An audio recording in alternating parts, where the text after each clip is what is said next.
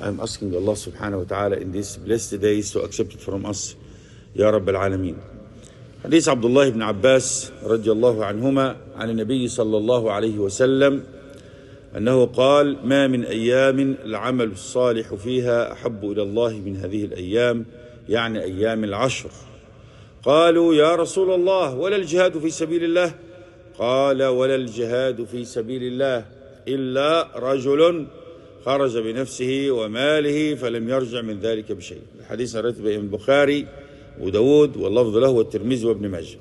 That authentic hadith صلى الله عليه وسلم is talking about the superiority of making good deeds these days. The first 10 days of the Hajj again. And العمل الصالح in these days better than الجهاد في سبيل الله والجهاد في سبيل الله ذروة سنام الإسلام top in Islam. the top the best thing ever you can do it in Islam الجهاد في سبيل الله when you go in the cause of Allah subhanahu wa ta'ala but making righteous good deeds these days better than even الجهاد except ها استثناء هنا واستدراك من الرسول صلى الله عليه وسلم except that man is going out in the cause of Allah with his property and the money في سبيل الله and he did not come back that's it done he's a shaheed this is the only case otherwise you are you're better than anybody is going making jihad see for that's why my call to myself and to the my Muslim ummah these days don't sleep wake up work this is the time of work subhanallah the best days during the year ever Rasulullah said خير أيام العام the best days during the year these days better than Ramadan better than Laylat al-Qadr Sallallahu Alaihi Wasallam said that the day of Arafah is coming you will be forgiven for two years Allah will forgive people. Subhanallah. But that's why, yani really, Alhamdulillah Rabbil Alameen. When you see people today in Medina, they are pushing each other's five people died. This is what we know now. Subhanallah. And it's, it's so hard to go now Saudi Arabia to Mecca. Hajj and all of this stuff. Alhamdulillah, Allah Azza wa is giving you almost the same reward of those who are going Hajj. Well, you are here.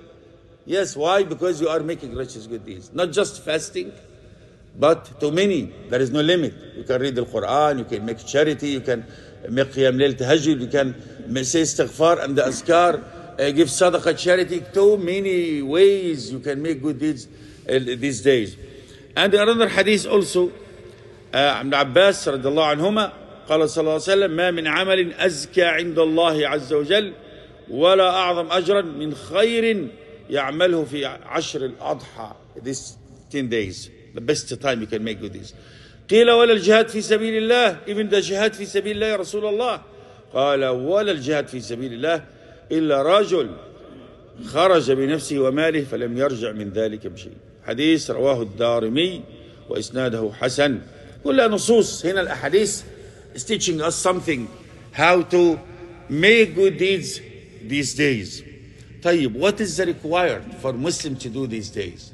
what is مستحب من الأعمال all of these good deeds is not fard huh? people they think fasting is fard oh, we are fasting and we no no no no it's mustahab it's Allah as well is asking you to do if you do it you will have this ajr inshallah الصيام fasting فيسن للمسلم أن يصوم تسع ذي الحجة the first 10 days of the Hijjah because it's haram to fast the day of Eid. Eid gonna be 10th of the Hajj. The Eid gonna be 10th day of the Hijjah. يوم النحر, the best day ever. يوم النحر, the day of sacrifice. And you can fast this 10 days because Rasulullah sallallahu he encouraged us to fast this day. And the Hadith القدسي said, كل قال الله, Allah Almighty says in the Hadith القدسي كل عمل ابن آدم له إلا الصيام فإنه لي وأنا أجزي به وأنا أجزي به the reward of the siyam Allah the one who will reward you himself subhanahu wa ta'ala yes also uh, uh, subhanallah uh, Allah subhanahu wa ta'ala يعني is telling us and giving us نفحات الدهر the breath of the days صلى الله عليه وسلم كان يصوم التسع الحجة صلى الله عليه وسلم used to fast these days the day of Ashura and three days of every month and he used to fast uh, uh, uh, Monday and Thursday. That hadith read by Imam al-Albani. Also, as much as you can with fasting and making good deeds, al-ikthar min al-tahmid wa al-tahleel wa al-takbir. At-tahmid, to say Alhamdulillah, out loud. Alhamdulillah. While you're driving, while you're working, while you're eating, while coming to the masjid, Alhamdulillah, Alhamdulillah, Alhamdulillah, and as much as you can. This is the meaning of tahmid. What tahleel means saying La ilaha illallah. La ilaha illallah, La ilaha illallah, La ilaha illallah. And by the way, in the day of Arafah, the best dua, Rasulullah said that. I, I used to say, and the prophets before me, on the day of Arafah, what? La ilaha illallah. لا إله إلا الله the heaviest thing in the scale لا إله إلا الله without it you cannot enter Jannah there is no God but Allah He's the only one worthy of worship يبقى التحميد saying alhamdulillah التهليل saying لا إله إلا الله and the takbir saying Allahu Akbar plus التسبيح saying الله and you can say سبحان الله والحمد لله ولا إله إلا الله أكبر these are too many قال الله سبحانه وتعالى عز وجل ليشهدوا منافع لهم ويذكر اسم ويذكر اسم الله في أيام معلومات على ما رزقهم من بهيمة الأنعام. يبقى الأيام المعلومات الأيام it's known days. في رمضان in the month of أيام معدودات. It's accountable days رمضان. In the day of العيد said أيام المعلومات. It's known to us. عرف is known to us. سبحان الله. ف that's why these uh, uh, days يعني like what the hadith said. أكثر فيهن من التهليل والتكبير والتحميد. حديثنا الراتب بين الإمام أحمد وإسناده صحيح. ف also these days صفة التكبير how to make تكبير say الله أكبر you can say الله أكبر الله أكبر الله أكبر لا إله إلا الله والله أكبر الله أكبر ولله الحمد in general these days in general you can say this takbir. But we're going to start after Salawat, this takbir, from the morning of the day of Arafah, which is going to be Saturday, inshallah. The Eid Sunday, 9th of the Hijjah, the day of Arafah, and the 10th of the Hijjah, the day of Eid. But we start our takbirat after Salah. Allahu Akbar, Allahu Akbar, Allahu Akbar, La ilaha illallah, Allahu Akbar, in the morning of the day of Arafah until the last day of Ayam al-Tashriq, the third day of Ayam al-Tashriq. All of this, very important to do it, and أداء الحج والعمرة الحمد لله to many of Muslims around the world they are in Hajj and Umrah these days I'm asking Allah as well to make it safe trip for them and to accept it from them and Ya Rabbil Alameen to join us with them in the reward inshallah Rabbil Alameen while we're going to make sacrifice also inshallah and these days if any sunnah Rasulullah used to make it and you bring it to the life again and people practice it you're going to be rewarded for that inshallah Rabbil Alameen الأضحية also it's a sunnah الأضحية the, the Qurbani it's a sunnah Sunnah means what? People they think it's it's a fard. Ya Jama'ah, no. You have to differentiate between the sunnah and the fard.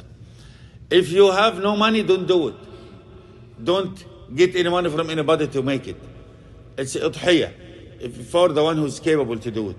فالأضحية من الأعمال الصالحة in these days والتقرب إلى الله سبحانه وتعالى uh, get your nearness to Allah by doing that and feed those who are poor and they get the best one from the subhanallah to slaughter it from the best of your money too. Uh, subhanallah fa anyway I'm asking Allah subhanahu wa ta'ala to accept it and the udhiyah from behemoth al-an'am. Could be a cow a camel could be a sheep a, a goat. Uh, this behemoth al-an'am it is not a fish it is not a chicken. Yes because some crazy sheikh last year I saw him uh, I heard him on social media. He said, this, his name is Egyptian also. His name is Hilali Batich. Whatever. He said, people, they are poor. They don't have money. It's okay. You can make your qurbani, your zabiha from the chicken. Who said that? Allah said, Bahimat al-an'am in the Quran. And Bahimat al-an'am, it's a camel, cow, sheep, or goat. This is what he said. Seven families or seven people they can share with a camel or cow and one person he can slaughter a sheep for him and his family. This is a qurbani. One third you eat, one third gift your friends, and one third for the poor and the needy. And must be healthy. Don't go get the limbang one and the one has one eye and and anemia. وتقول يلا في سبيل الله. Get the best and do it في سبيل الله. If you want to do it. Allah to accept يا رب العالمين. ربنا تقبل منا واغفر لنا وارحمنا وعافنا واعف عنا وأعنا على ذكرك يا ربنا وشكرك وحسن عبادتك هذه الأيام. وتقبل منا واغفر لنا وتب علينا. واشف من كان منا مريضا واشف مرضانا ومرضى المسلمين. وارحم موتانا موتى المسلمين يا رب العالمين. أكرمنا ولا تهنا. وانصر إخواننا في غزة. اللهم انصر إخواننا في غزة. اللهم عليك باليهود الملاعين يا رب. اللهم عليك بهؤلاء الزاينس يا أرحم الراحمين. يا رب انصر إخواننا في غزة يا رب. اللهم كن معهم يا رب العالمين. تقبل شهدائهم يا رب العالمين. اللهم انصرهم بنصرك وقوهم بقوتك وأعزهم بعزتك. واللهم أطعمهم يا رب. اللهم اسقهم يا رب. اللهم آويهم يا رب. اللهم اجعلهم من السعداء يا أرحم الراحمين يا رب العالمين. انصرهم وانصر المسلمين في كل مكان يا رب. اللهم وحد صفوف المسلمين يا رب. وانصر المسلمين يا رب. وارحم شباب المسلمين ونساء المسلمين ورجال المسلمين. وشيوخ المسلمين يا رب العالمين ورد المسلمين جميعا إلى ردك إلى دينك ردا جميلا يا أرحم الراحمين في هذه الأيام المباركة. وعليك بكل من فسد في هذه الأمة بكل من نشر الفساد وأفسد الناس. اللهم عليك بهم يا رب ابتليهم بالأمراض التي تهلكهم حتى نتخلص من هذه الزبالة والقمامة يا رب العالمين. الذين ينشرون الفساد والذعر والفساد في هذه الأمة يا رب العالمين. وصلى اللهم وسلم وبارك على سيدنا محمد وعلى آله وصحبه وسلم. آمين.